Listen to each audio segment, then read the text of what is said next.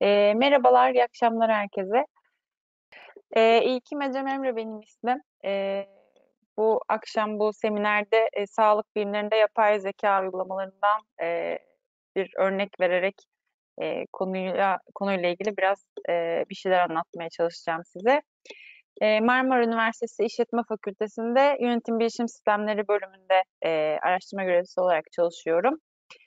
E, doktora ve yüksek lisans çalışmalarında veri madenciliği, makine öğrenmesi gibi yöntemlerle sağlık verisiyle e, analizler yaptım.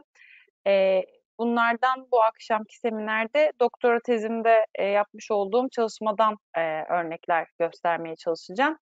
Bu da e, psikiyatri alanından bir e, uygulama örneği olacak. Bu anlamda e, nasıl e, sağlık alanında yapay zeka uygulamalarının nasıl kullanılabileceğini bir örnek göstermiş olacağım diye e, düşünüyorum sizlere.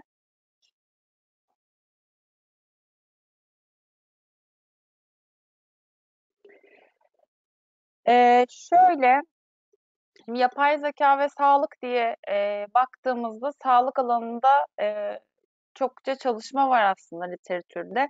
E, hastalık tahminlerinin yapılması, işte erken teşhis konması gibi konularda sıklıkla e, yapılan çalışmalar görebiliyorsunuz. İşte bunlarda yapay zekanın alt dallarından makine öğrenmesi gibi yöntemlerin e, kullanılarak tahminler yapıldığını, e, hastalıkların sınıflandırılmaya çalışıldığını veya e, erken teşhis e, konması amacıyla araştırmalar yapıldığını görebiliyorsunuz.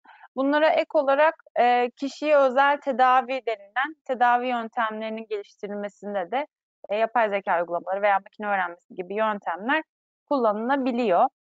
E, aynı zamanda ilaç keşfi e, açısından da yani ilaç keşfi çalışmalarında da bu yöntemler kullanılabiliyor.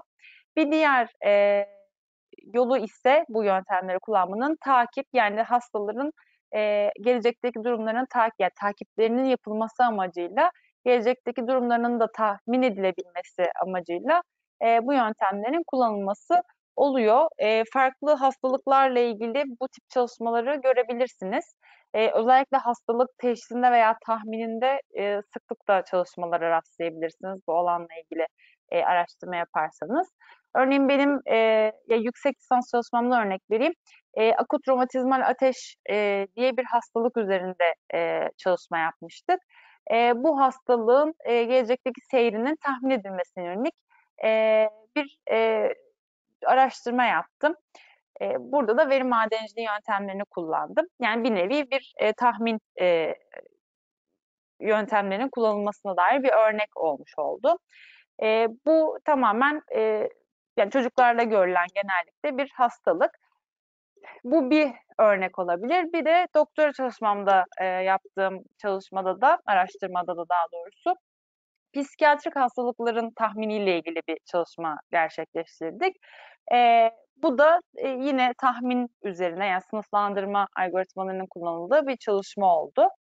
E, yani bunun gibi farklı farklı hastalıklarla ilgili yani sağlık e, alanında farklı e, alanlarda e, verileri kullanarak bu tip e, yöntemleri kullanabiliyorsunuz.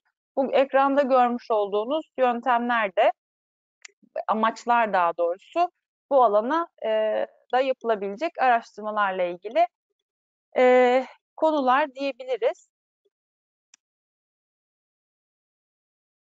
Geçebilirsek. E, buradaki görsele baktığımızda e, şeyi görüyoruz. Örneğin sürekli olarak sizin e, işte akıllı saatler kullanıyoruz. Akıllı saatlerden işte sürekli olarak nabzınız takip ediliyor veya işte uyku kaliteniz e, takip ediliyor. E, işte ne bileyim su içmeniz için hatırlatma yapılabiliyor veya bir spor aktivitesi yapıyorsunuz ya da egzersiz yapıyorsunuz. Buna dair e, vücudunuzdaki bir takım veriler toplanıyor bu saatler sayesinde. Bu e, daha gelişmiş bir uygulamada bu e, verilerin sürekli olarak ya zaten toplanıyor, sürekli olarak analiz edildiği ve size erken e, teşhis e, amacıyla bir takım uyarıların verildiğini düşünün. E, bunun gibi uygulamalar gelecekte hani daha çok bizim karşımıza çıkacak uygulamalar olabilir. Yani daha bunların otomatize edilmiş şekillerini görebiliriz diye düşünüyorum gelecekte. E, zaten hali hazırda şu anda bu veriler toplanıyor. İşte sizin nabzınız, kalp atışınız, uyku ritminiz veya uyku kaliteniz gibi şeyler zaten şu anda da toplanıyor. Bunların yapay zeka ile daha fazla entegre edilmiş halinde de bu verilerin otomatik olarak analiz edilmesi, oradan size e, bir takım erken uyarıların e, sağlık çalışanı tarafından olabilir, bir e, ne bileyim hastane otomasyonu tarafından olabilir. Bunların gönderilmesi e, ve anlık analizlerin yapılması mümkün olabilir. E, buna dair çalışmalar yani buraya doğru giden çalışmalar var. Hani bugün yapılan çalışmalar işte demin söylediğim gibi tahmin, önceden hastalıkların tahmin edilmesi, teşhis edilmesi veya hastalıkların farklı alt kırılımları varsa bunlar arasındaki e, farklılıkların tespit edilmesi veya hangi e, fazla olduğunun bir hastalığın tespit edilmesi gibi şeyler e, çalışmalar farklı e, tıptaki farklı alanlarda zaten hala hazırda yapılıyor. Bunların daha otomatize edilmiş hallerini gelecekte görebiliriz. Yani yapay zekada sağlık e, sağlık alanında yapay zeka e, yöntemlerinin kullanımı böyle bir yöne doğru gidebilir. E, çokça duymuşsunuzdur işte robotlar insanların yerini alacak mı vesaire. Hani bunlar zaten tartışma konusu olan e, sorular. E, yine sağlık tarafına baktığımızda da e, yapay zekaya sahip uygulamaların doktorların ve hemşirelerin yerini alması mümkün mü gibi bir soru aklımıza gelebilir. E, bazı araştırmacılar bunun yer, yani bu e, uygulamaların doktorların veya hemşire veya hemşirelerin yerini almasını pek olası görmüyor. E, elbette farklı e, karşıt düşünceler de vardır. Ama bu bazı araştırmacıların görüşüne göre ki e, yani naçizane benim okuduğum literatürdeki çalışmalarda da e, buna benzer şeyler var. Bu alanlarda yapılan yapay zeka, makine öğrenmesi gibi yöntemlerin kullanılarak e, sonuçların e, analiz edildiği veya bu alanda bu yöntemlerin kullanılarak yapıldığı e, çalışmaları görüyoruz. Ama ve bunlar da e, zaten revaçta e, çalışmalar. E, ama sağlık sektörü bir yandan dönüşse de bu, bu çalışmalar sonuçları aslında iyileştiriyor. İşte tanı koymayı iyileştiriyor. Sonuçların daha doğru tahmin edilmesini iyileştiriyor. Bir nevi e, doktorların, sağlık çalışanlarının kararlarını destekleyici nitelikte oluyor aslında. E, dolayısıyla e, yani tamamen onların yerini alması, sağlık çalışanlarının yerini alması pek mümkün değil gibi bence de. E, ama bu yöntemleri kullanarak sağlık verilerini analiz ettiğimizde sonuçların iyileştirmesine yönelik e, adımlar görüyor oluyoruz. E, makine öğrenmesi yöntemleri burada en sık karşımıza çıkan e, yöntemler belki de. E, hasta verilerini, yani büyük miktarlardaki hasta verisi diyebiliriz buna. Heterojen veya karmaşık yapıdaki hasta verileri diyebiliriz. Artık ne diyeceksek. E, bu hasta verilerinden e, anlamlı bilgiler elde edilmesi veya örüntülerin keşfedilmesini e, sağlayan yöntemler makine öğrenmesi yöntemleri. E, yani sağlık alanında bu amaca hizmet ediyorlar aslında. E, bu hizmet doğrultusunda da e, sonuç olarak sağlık alanına fayda sağladıklarını söyleyebiliyoruz. E, temel olarak baktığımızda da e, teşhis, tedavi, işte hastalık e, tahminindeki hataların azaltılması, e, kişiselleştirilmiş tedavi dedik, e, kişiselleştirilmiş ilaç e, uygulamaları dedik veya ilaç keşfi dedik. Bunun gibi e, amaçlar için makine öğrenmesi yöntemleri e, sağlık verilerinin analiz edilmesini sağlıyor. E, bunun işte demin verdiğim örnekteki gibi gerçek zamanlı olarak tahmin edilmesi, gerçek zamanlı olarak e, kişilere bir takım önden uyarıların yapılması gibi teknolojilerde e, ilerleyen zamanlarda e, karşımıza çıkacaktır muhtemelen. Ama bugünkü e, literatüre baktığımızda zaten tahmin, teşhis, hastalık sınıflandırması gibi e, amaçlar için farklı farklı hastalık gruplarına, farklı alanlarda sağlık alanının e, bu, bu tip çalışmalara rastlıyoruz. Örneğin demin verdiğim örnekteki gibi e, çocukluk çağında e, ortaya çıkan bir hastalıkla ilgili e, uygulama da yapabilirsiniz. E, psikiyatri alanında bir uygulama da yapabilirsiniz veya e, yine sıkça e, bu alanda görülen e, örneklerden biri. Örneğin şeker hastalığıyla ilgili, diyabetle ilgili bir uygulamada görebilirsiniz. E, yani sağlığın farklı alanlarında farklı örneklere rastlamak mümkün. E, sonuç olarak kullandığımız yöntemler aynı olsa da sağlığın farklı alanlarında bu yöntemleri uygulayabiliyoruz ve her bir alanda aslında bu yöntemler katkı sunuyor. E, dediğim gibi doktorların veya hemşirelerin tamamen e, bu yöntemlerle yer değiştirilmesinden söz etmiyoruz ama e, bu sağlık çalışanlarının e, kararlarını destekleyecek e, yöntemlerden bahsediyoruz burada.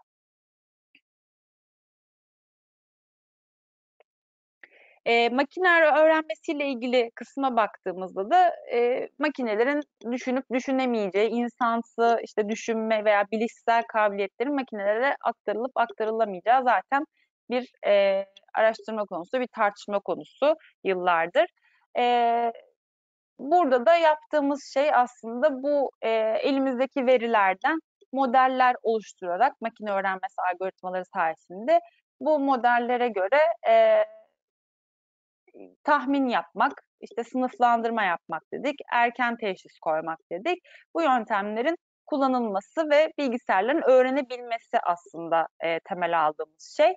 E, tabii ki burada tamamen e, bilgisayarlar e, yani iler, ileri e, uygulamalarda e, yapay zekanın ileri uygulamalarına daha doğrusu daha akıllı cihazlardan bahsedebiliyoruz.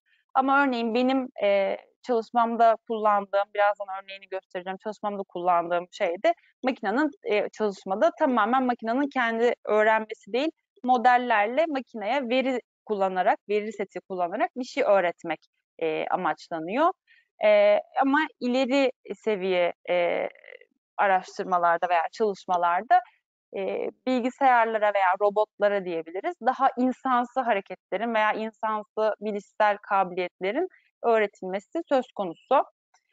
E, dediğim gibi benim göstereceğim uygulama örneğinde ki e, literatürdeki çalışmalarda da görebilirsiniz. E, sağlık alanında bir veri setiniz var. Bu veri setine makine öğrenmesi algoritmanı uyguluyorsunuz ve o algoritmaların e, oluşturduğu modellere göre bir performans değerlendirmesi yapıyorsunuz ve buna göre bir e, sonuç elde edip bunu e, konumuz sağlık olduğu için sağlık çalışanlarına e, sunuyorsunuz onların kararlarına e, destek olması için. E, temel olarak baktığımızda özet geçecek olursam çok teknik tarafına girmeden e, elimizde örnekler var. Bu örneklere ait yani burada örnek dediğimiz e, hasta verilerimiz oluyor. Hastalarımız oluyor daha doğrusu. Hastalara ait bir takım değişkenler var ve bu değişkenlerle biz e, e, bu değişkenlerden e, algoritmalar sayesinde bir model kuruyoruz ve bu modele bu modele göre de e, bir e, çıkarım yapıyoruz. Bu çıkarımda da e, bu çıkarımla daha doğrusu e, başta bahsetmiş olduğum amaçlar amaçlardan birini veya birden fazlasını aslında gerçekleştirmeye çalışıyoruz. E, bu çıktının da sağlık sektörü açısından veya hastalık tespiti açısından e, faydalı olacağını umuyoruz. Bu tip e, çalışmalarda kullanılan e, sınıflandırma çalışmalarında diyelim veya hastalık tahmini çalışmalarında kullanılan makine öğrenmesi algoritmalarının temel çalışma mantığı bu şekilde. Yani siz elinizde e, hasta verisi var. Bu hasta verilerine bakarak e, algoritma size e, bir model kuruyor. Her bir algoritmanın farklı bir çalışma mantığı var. Arkasında hani matematiksel bir e, çalışma mantığı var diyebiliriz. Bu modele göre de e, siz yeni bir örnek geldiğinde, yeni bir hasta geldiğinde bu hastanın e, işte hastalık sınıflandırması yapıyorsak hangi hastalık sınıfına girebileceğini tahmin etmiş oluyorsunuz veya hastalığın seyrini tahmin etmek istiyorsanız iyileşecek, kötüleşecek gibi buna dair bir e, tahmin elde etmeye çalışıyorsunuz gibi. Genel olarak yani hangi alana uygularsanız uygulayın bu çalışma mantığı aynı. Sadece bu algoritmaları farklı alanlara uygulamış oluyorsunuz diyebiliriz.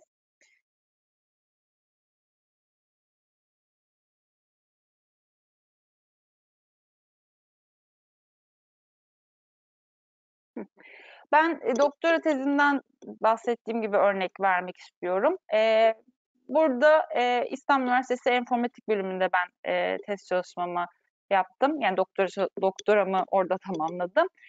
Psikiyatrik hastalıkların makine öğrenmesi yöntemleriyle ayrıştırılması konulu tez başlığını, tez konusunu çalıştım daha doğrusu. E, doçent doktor Çiğdem Erol'la e, hocamla birlikte e, gerçekleştirdik çalışmayı. E, sağlık alanında yapay zeka uygulamalarına bir örnek olması açısından bunun üzerinden e, gitmek istiyorum. Dediğim gibi makine öğrenmesi yöntemleri nerede kullanırsanız kullanın aynı algoritmalardan oluşuyor. E, siz bu algoritmaları farklı farklı alanlara uygulayabiliyorsunuz. Ben de bunu e, psikiyatrik e, veriler üzerinde uyguladım. E, yani birden fazla algoritmayı psikiyatrik hastalıkların teşhisi için e, kullandım. E, psikiyatride şöyle bir e, yaklaşımı var doktorların. Belirti tabanlı yaklaşım dedikleri bir yaklaşım izliyorlar. E, ben de bunları tabii ki tezle ilgilendiğim süreçte e, öğrendim. E, normalde sizin e, örneğin bir diyabet hastasıysanız bir takım e, sizin işte kan değerlerinize veya biyolojik bir takım değerlerinize bakarak e, sizin işte diyabet olup olmadığınızı e, tespit edebiliyor doktorlar. Fakat psikiyatrik hastalıklara geldiğinizde e, böyle direkt olarak bir sadece e, ya bir veya birden fazla diyelim e, direkt olarak biyolojik verilerinize bakarak e, teşhis konmak konması mümkün olmuyor.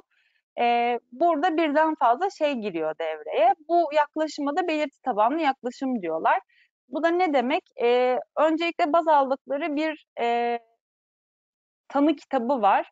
E, Amerikan Psikiyatri Birliği'nin e, DSM-5 olarak kısaltacağım e, bir tanı kitabı. Bütün ruhsal hastalıklara yani psikiyatrik hastalıklara dair e, teşhis konulabilecek e, bütün e, şeylerin e, ne diyelim parametrelerin yazdığı bir e, el kitabı aslında. Bu el kitabı diyorum ama böyle epeyce e, kalınca ve detaylı bir e, detaylı olarak oluşturulmuş bir kitap.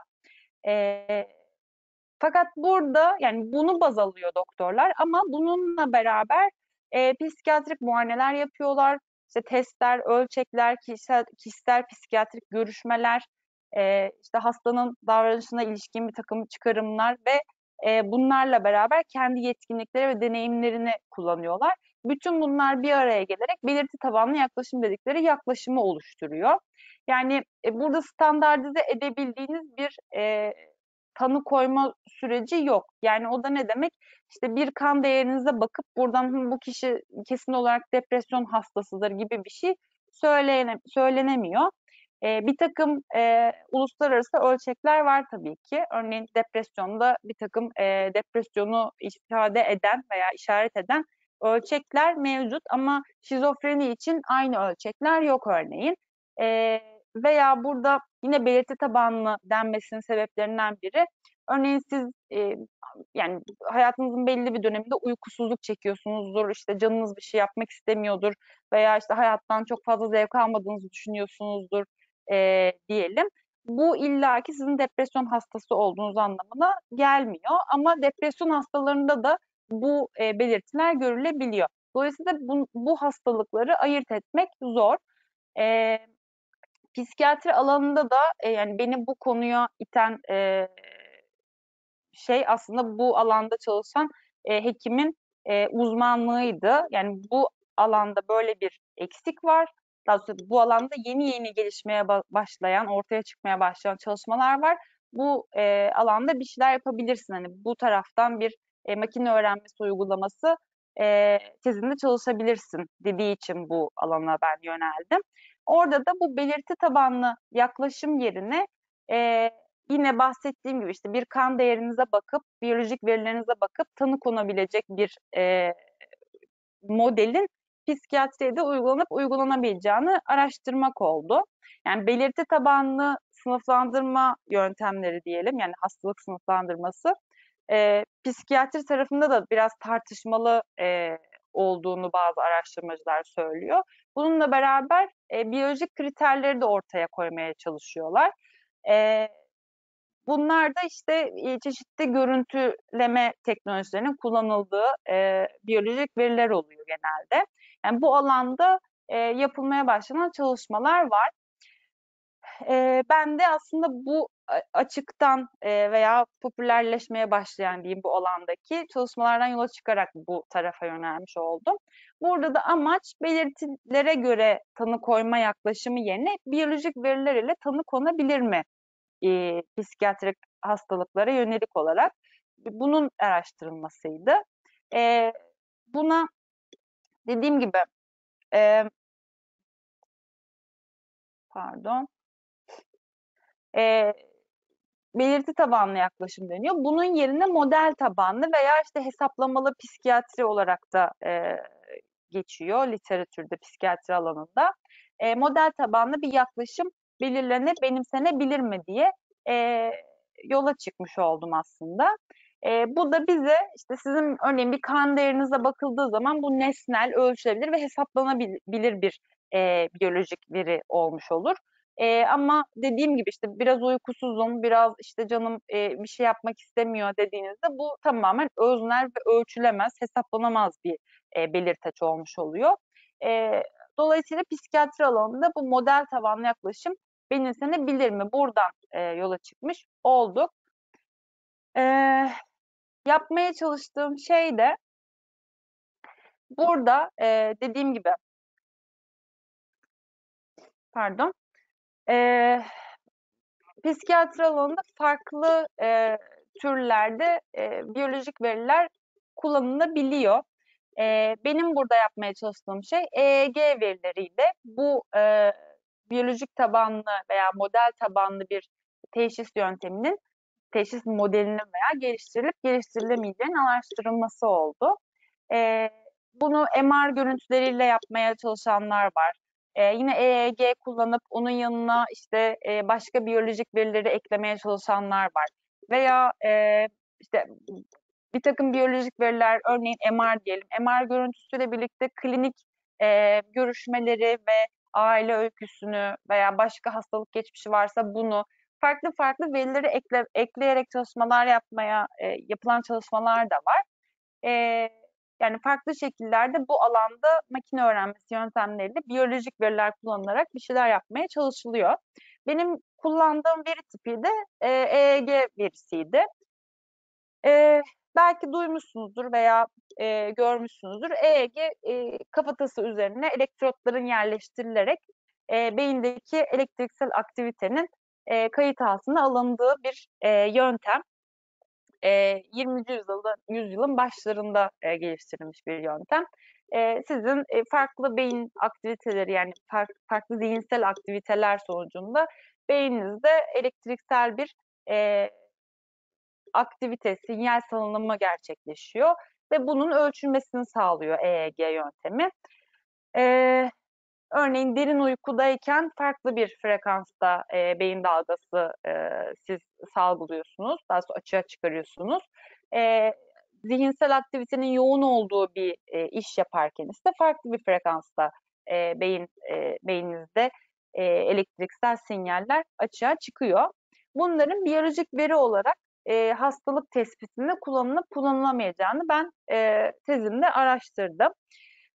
E, bunda dediğim gibi başta bahsetmiş olduğum makine öğrenmesi yöntemlerinin bu alana uygulanarak e, yapılıp yapılamayacağını araştırmış oldum.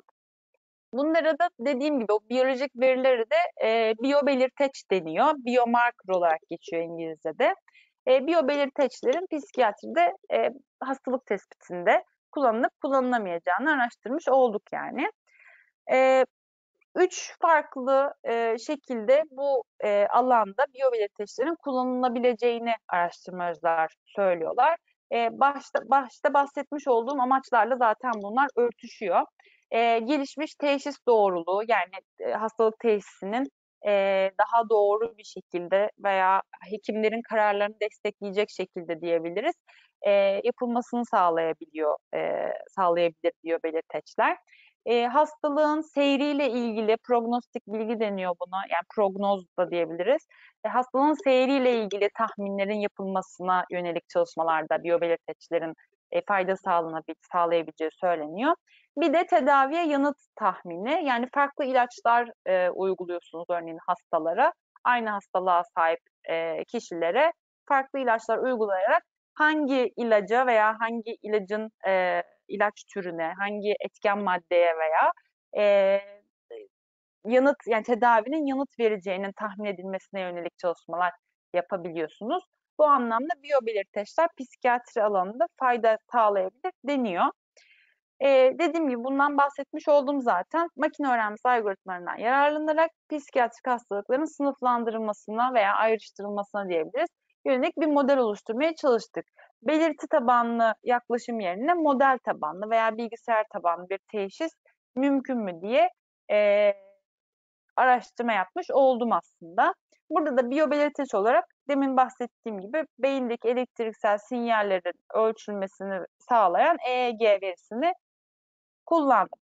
Burada e, yine e, literatürden de bahsedeyim. E, literatürde farklı farklı e, hastalıklar mevcut. E, bunlardan yani birçoğunu zaten duymuşsunuzdur muhtemelen. E, işte bipolar bozukluk, şizofreni, depresyon, obsesif kompulsif bozukluk gibi e, çokça e, çeşitli psikiyatrik e, rahatsızlıklar mevcut. Bunlardan bazılarının alt kırılımları da var. Hatta bazılarının fazları var. E, yani bir kanser hastalığı gibi düşünebilirsiniz. Kanserdeki gibi faz faz e, gelişiyor. E, bunların tespitine yönelik veya dediğim gibi alt kırılımlarına yönelik tahminler yapılabiliyor. E, benim çalıştığım e, versiyonda ise burada görmüş olduğunuz 7 hastalığa ait e, hastaların EEG verilerinden oluşan veri setleriyle veri setleriyle çalıştım. Veri setleri diyorum çünkü bunların hepsini bir araya getirip e, günün sonunda analiz ettim. Aslında hepsi ayrı ayrı tutulan verilerdi. Bunların bir araya getirilmesinden sonra e, bu hastalıkların aslında ilk amacım öncelikle bunların e, tespit edilmesine e, yönelik olarak e, 7 farklı kategoriden bir kişinin hangi kategoriye gireceğinin tahmin etmekti. Bununla beraber 7 hastalık kategorisiyle beraber bir de sağlıklı kontrol grubu mevcuttu. Yani ben bir kişi e, bir psikiyatri kliniğine e, bir rahatsızlıkla geldiğinde ya da kendinden e, işte şüphe ettiği bir durum oluştuğunda EEG verisine bakarak hekimin bu kişi işte sağlıklı grubu mu veya bu 7 hastalık grubundan hangisine e, girer onun tahmininin yapılmasına e, fayda sağlayacak bir e, model geliştirmeye çalıştım. Bunu da dediğim gibi makine öğrenmesi yöntemlerini yaparak, e, uygulayarak yapmaya çalıştım. E, yani bir kişinin EEG verisine bakarak siz buradan hangi gruba gireceğini e, model sayesinde e, tahmin etmiş oluyorsunuz aslında. E, bu bir yöntemde, yani denediğim kısımlardan bir tanesi buydu. E, bir de bütün bu hastalık kategorilerini tek bir hasta grubuna e, da birleştirerek, yani tek bir hasta başlığında birleştirerek 7 kategorideki e, örnekleri e, bir kişi geldiğinde bu kişinin EEG verisine bakılarak e, kişinin psikiyatrik hastalığa sahip mi değil mi? Hangi gruba girer? Bunun e, tespitinin yapılmasına e, yönelik bir e, model geliştirmesi yaptım. E, dediğim gibi bu e, ikisinde de tamamen EEG verileri kullanıldı. E, e, ve buradan yola çıkarak farklı makine öğrenmesi algoritmaları, farklı parametrelerle denenerek e, bu e, biyometrik, ay pardon, biyobelirteç yani biyolojik verilerle bu tespitin yapılıp yapılmayacağının e, ortaya konmasını sağladık. E, benim burada çalıştığım e, veri setinde 657 hasta, e, 102 sağlıklı toplam örnekle çalıştım. E, süreçten e, yani çok bu kısımlarla sıkmak sıkmak da istemiyorum size ama e, kısaca bahsedecek olursam verilerin toplanması gerçekleştirildi. E, ön işlemeden geçti veriler. E, her makine öğrenmesi uygulamasında e, geçilmesi gereken bir aşama bu. E, ön işlemeden sonra e, eğitim test olarak verileri ayırdık ve farklı algoritmalarla e, modeller kur, kurarak bunların performanslarını değerlendirdik. Buradan e, vardığımız sonuç ise e, bizim kurduğumuz modellerde e, e, biyobelirteç olarak EEG verilerinin psikiyatrik hastalık tespitinde kullanılabileceği e, oldu. Yani bir e, sağlık alanında yapay zekanın kullanımının e, kullanımına dair bir örnek olarak bu çalışma aslında başarılı bir çalışma olmuş oldu. Çünkü yüksek oranlarda bu tahminin mümkün olduğunu ortaya koymuş olduk. E, aynı zamanda e, ilk başta bahsetmiş olduğum yani psikiyatri kısmında özellikle bahsetmiş olduğum e, o DSM-5 kriterlerine göre bazı hastalıkların tamamen birbirinden ayrılması yani çok e, keskin bir şekilde ayrılması mümkün olmayabiliyor. Burada e, o 8 kategori arasında sınıflandırma yaparken de e, iyi oranlarda tahmin yapılabileceğini ortaya koymuş olduk. E, ama tabii ki hani günün sonunda e, psikiyatristler e, tamamen e, EEG verisine bakarak e, bir karar vermiyorlar. Bunu destekleyici olarak e, kullanabilirler. E, yani bir şikayet ile geldiğinde bir kişi, demin verdiğim örnekte olduğu gibi EEG ölçümü ile herhangi bir hastalık sınıfına girip girmeyeceğinin analiz edilmesinin te, e, tespit edilmesinin daha doğrusu yüksek doğruluk oranlarıyla tahmin edilmesi mümkün. Yani bunu söyleyebiliyoruz biz bu çalışmada. Ee, ve bu alanda yapılan çalışmalara bunun e, yani bir katkı olabileceğini umuyoruz. Ki literatürdeki çalışmalarda aslında burada yok. Yani çok tez sunumu gibi olacağı için o, çok fazla ayrıntı paylaşmadım burada ama e, literatürdeki çalışmalarda dediğim gibi EEG verisiyle e, sınıflandırma yapan var. E, MR verileriyle, e, MR görüntüleriyle sınıflan, sınıflandırma yapanlar var.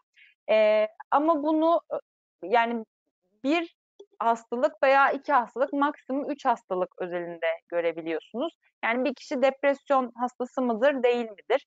Veya e, işte hasta hasta sağlıklı hangi gruba girer? Yani depresyon hastası değil veya şizofreni hastası mı değil mi? E, veya şizofreninin alt kırılımlarının hangisine girer? Veya e, ilaç keşfiyle ilgili çokça çalışmaya da ben rastlamıştım. E, işte depresyon hastalarına iki farklı ilaç e, kategorisinde tedavi uyguluyorlar. E, bunların e, ilaç e, tep, yani ilaçlara verilecek olan tepkinin tahmin edilmesine yönelik çalışmalar yapıyorlar. E, farklı farklı hastalıklara yönelik e, ama genelde dediğim gibi maksimum 2 veya 3 hastalığı baz alan çalışmalar görebiliyorsunuz. E, ama bizim burada yaptığımız çalışmada e, yani 7 farklı hastalık kategorisinden e, hasta verileri vardı. E, dolayısıyla farklı birçok hastalık arasından hangi kategoriye bir kişinin EEG verilerine bakarak girip girmeyeceğini tahmin edilmesine e, ne yönelik e, bir çalışma olmuş oldu. Ama literatürdeki çalışmalara baktığınızda dediğim gibi tek bir hastalık veya hastalık var yok şeklinde bir e, şey görüyorsunuz. E, araştırma e, görüyorsunuz. E, ama yine de e, yani ama yine de demek çok hani ukalaca gelmesin tabii ki ama e, daha kapsamlı veri setleriyle çalışan e, çalışmalar var. E, dediğim gibi işte EEG verisini kullanmış ama onun yanında işte farklı biyolojik veriler toplamış, farklı işte aile öyküsüne bakmış, hastalık geçmişine bakmış veya klinik görüşmeleri içine katmış veya e, işte depresyon hastalarında e, ölçekleri e, iç, işin içine kattıkları çalışmalar vardı. Yani farklı şekillerde yapılan uygulamalar var. E, bu anlamda yani psikiyatri özelinde makine öğrenmesi yöntemlerinin e, kullanımının yaygınlaştığını söylemek e, yanlış olmayacaktır. E, özellikle belirttiğim gibi belirti tabanlı yaklaşım yerine yapay zeka tabanlı, veri tabanlı veya makine öğrenmesi uygulamalarına dayanan e, uygulamaların daha e, doğru sonuçlara e, götüreceğine dair genel bir görüş olduğunu söylemek e, yine yanlış olmaz sanıyorum. E, işte ilk başta söylediğim gibi yine önleyici, öngörücü ve kişiselleştirilmiş tıp uygulamalarının e, geleceğini temsil ettiği belirtilen biyobelirteç keşfi e, deniyor. Bu biyobelirteçlerin psikiyatri alanındaki keşfi de önem arz ediyor. Dediğim gibi özellikle e, teşhis konması esnasında biyobelirteçle teşhisi e, desteklemek bu alandaki önemli e, konulardan bir tanesi. E, dolayısıyla bu ve benzeri çalışmalar e, sağlık alanında yapay zeka uygulamalarına e, örnek teşkil edebilirler diyebilirim. Pardon.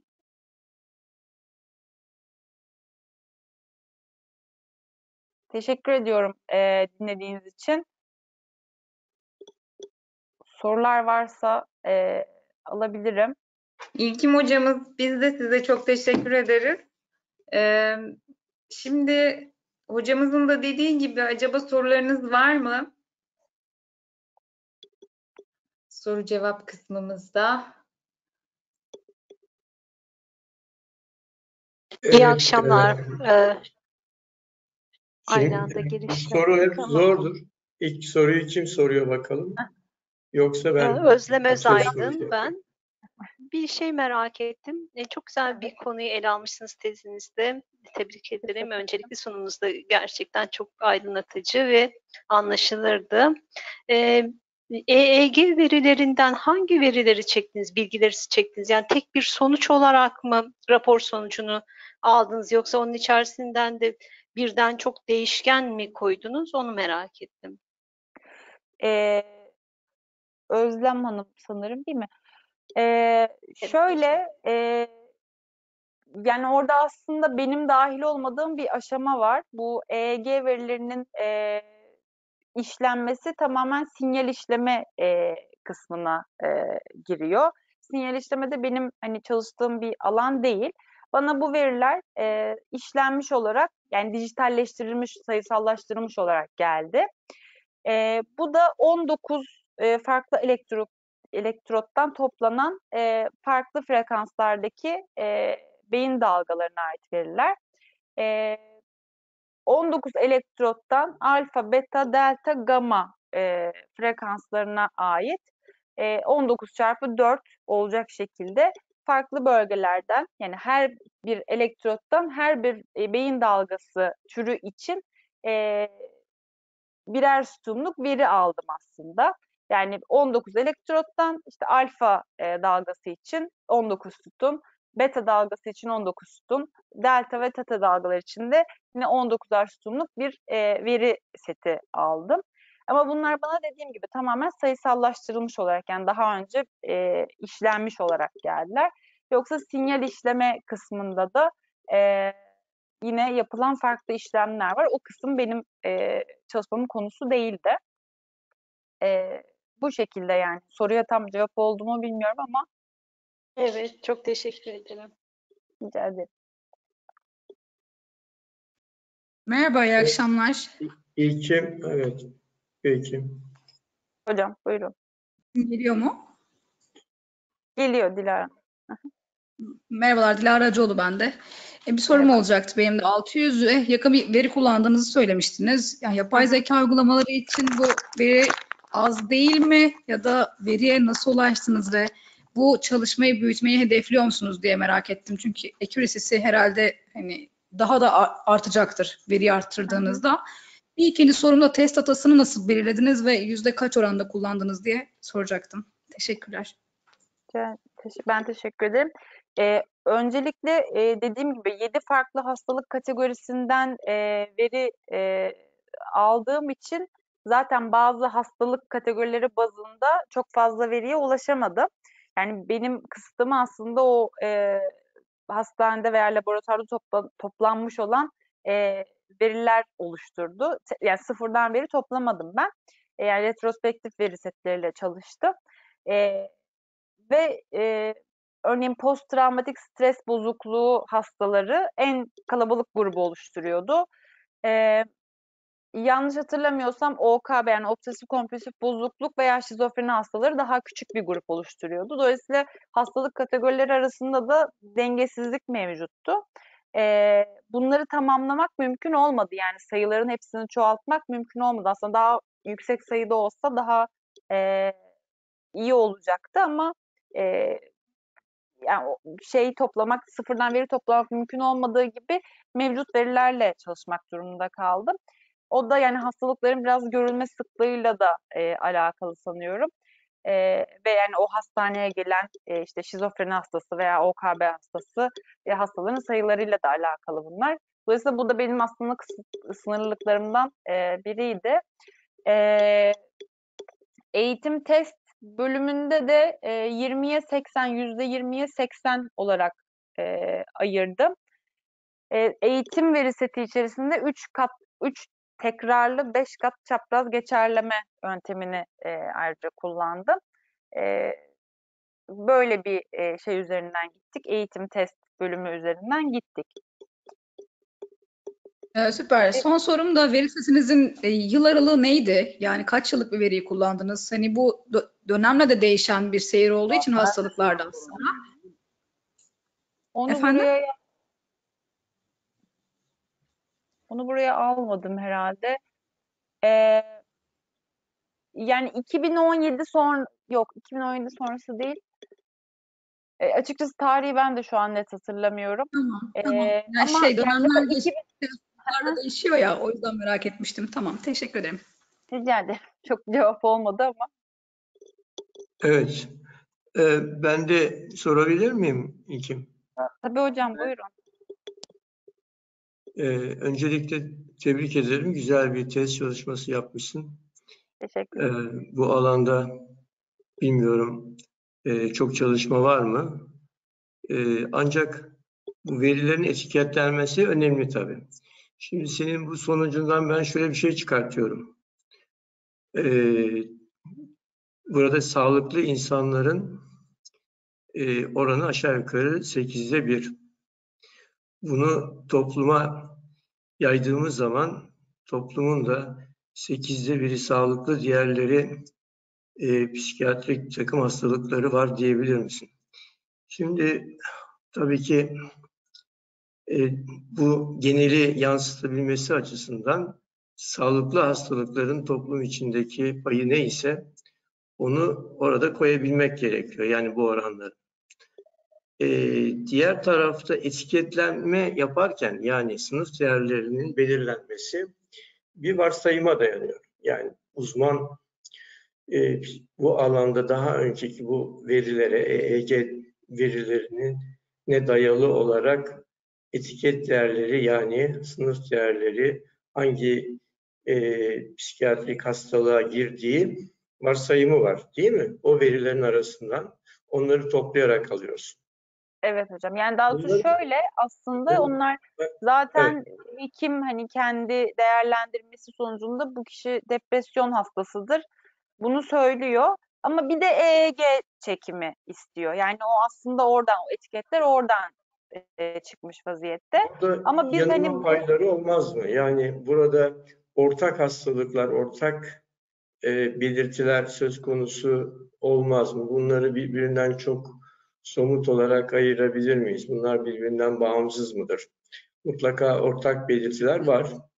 Hı E, hı. burada o zaman e, uzman hekimin e, kendi bilgisini de ortaya koymuş. Yani özellikle etiketlerken onları.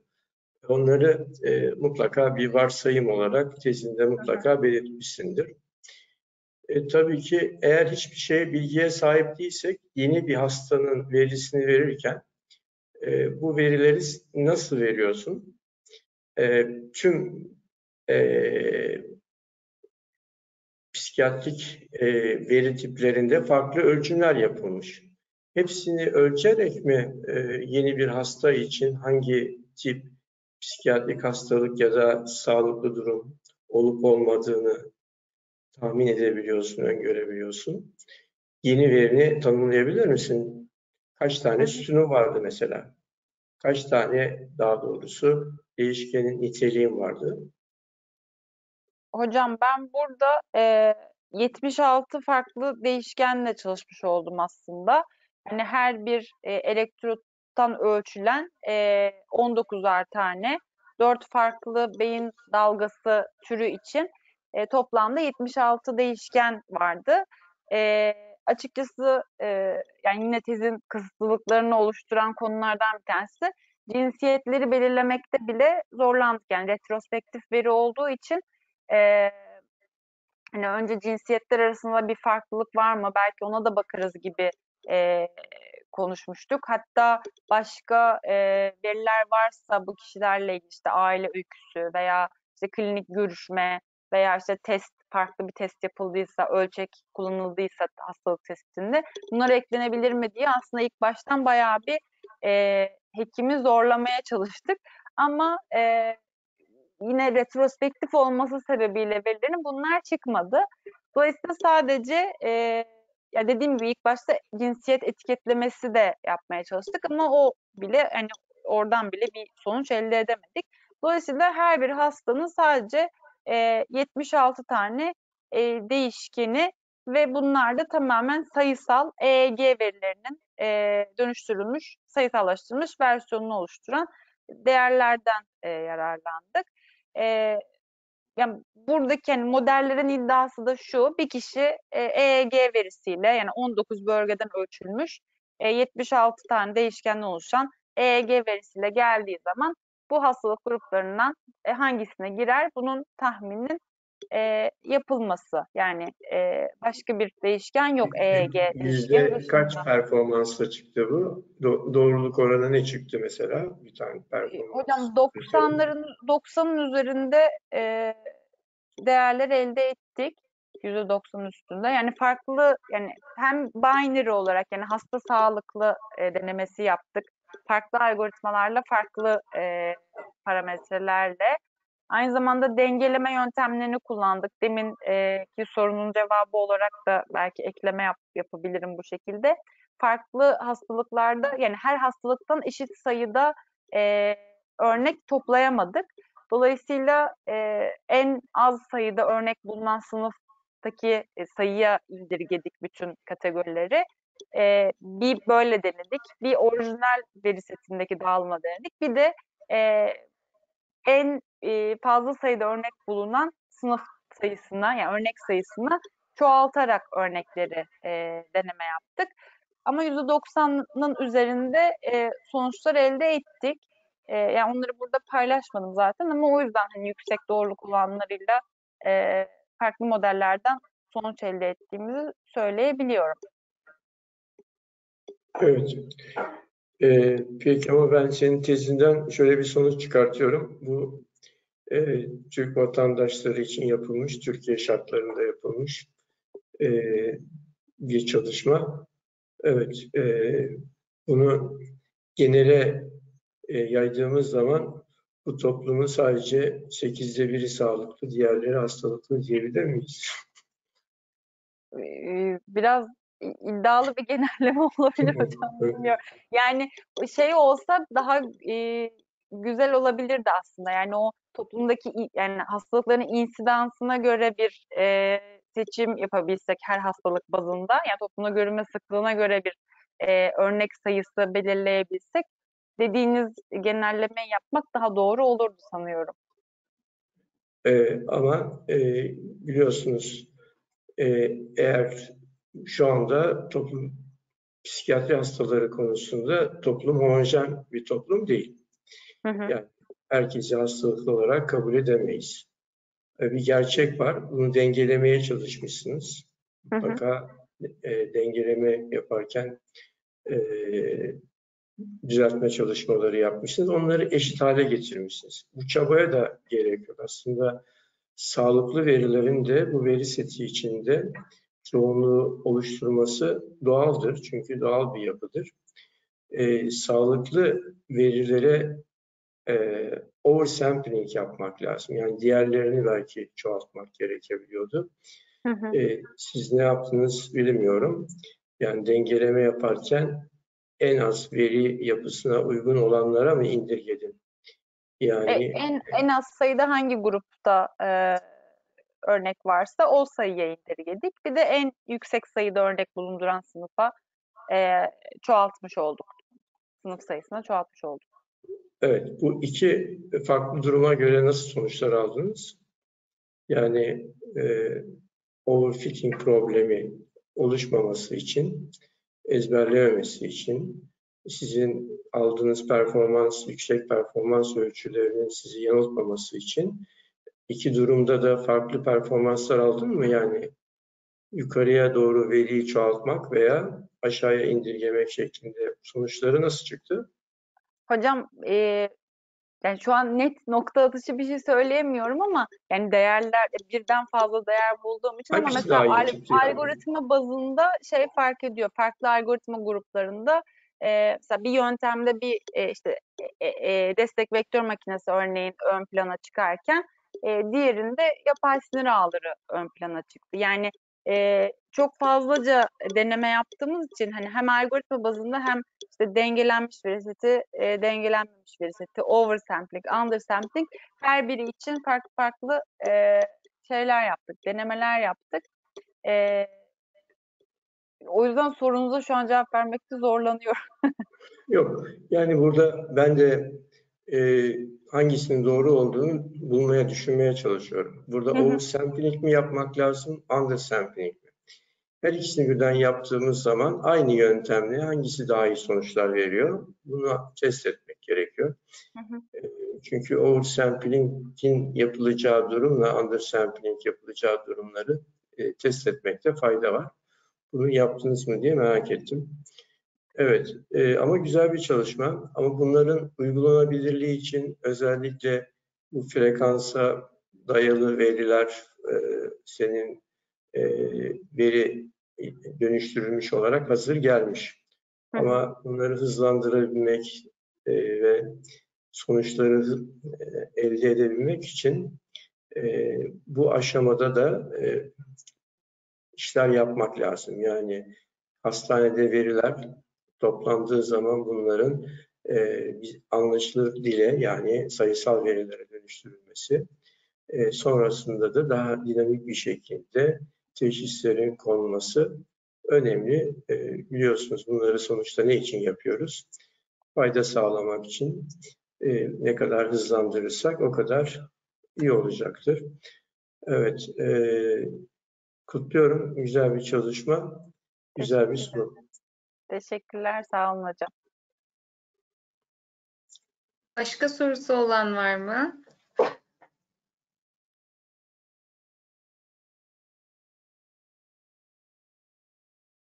Chat kısmına da bakalım. Orada da bir şeyler varsa. Yok. İlkim hocam. hocamıza ben bütün katılımcılarımız adına teşekkür ederim tekrardan. Bugün e, bizleri kırmadı, sunumunu gerçekleştirdi. E, herkese katılımı e, için çok teşekkürler. Perşembe günü e, yine sağlıkta bir yapay zeka seminerimizle karşınızda olacağız. Perşembe görüşmek üzere o zaman. Teşekkür ediyorum ben de herkese katıldığı ve dinlediği için. Ee, umarım Evet. faydalı olmuştur. Evet, alkışlayalım. Teşekkür ederim. Sağ olun. Arada kimse psikiyatrist olanlar yok değil mi? Doktor olanlar var mı burada? Yok. Tıpçılardan kimse var mı? Ben sağlıkçıyım. Sağlıkçı Erkan var. Hemşire Ee, kökenliyim. Şimdi sağlık yönetimi bölümünde doktor öğretim üyesiyim. Evet.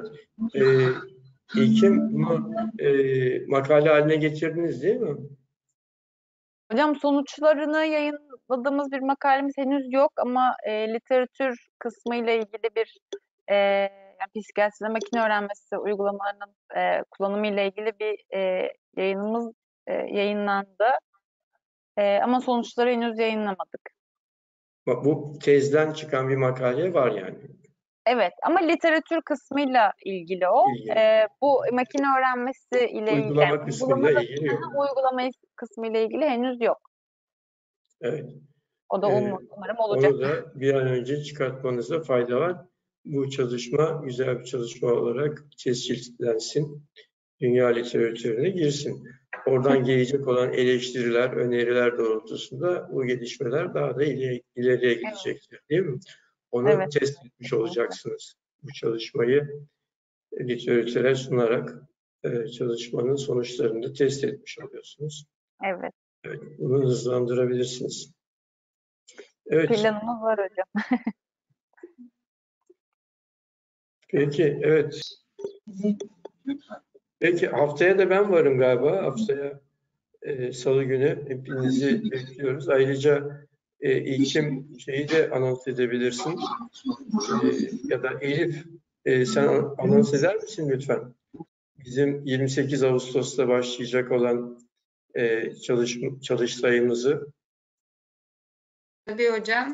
Ee, her yıl e, düzenlemeye çalıştığımız e, disiplinler arası uygulamalı veri madenciliği çalıştayımız var. Bu yıl altıncısını düzenleyeceğiz. Tabii Türkiye Bilişim Derneği tarafından bu daha sonra detaylıca duyurulur ama e, yine Veri Bilimi Çalışma Grubu ve Türkiye Toplum Hizmetleri Vakfı işbirliği ile bu yılki yapılacak olan yaz okulu Python üzerine gerçekleşecek. Python kullanılarak veri madenciliği uygulamalarını e, gerçekleştireceğiz. 28 Ağustos 4 Eylül tarihlerinde sizi Muğla Turunç'ta ağırlamak isteriz. E, düşünürseniz dediğim gibi yakında ilanlara çıkacağız.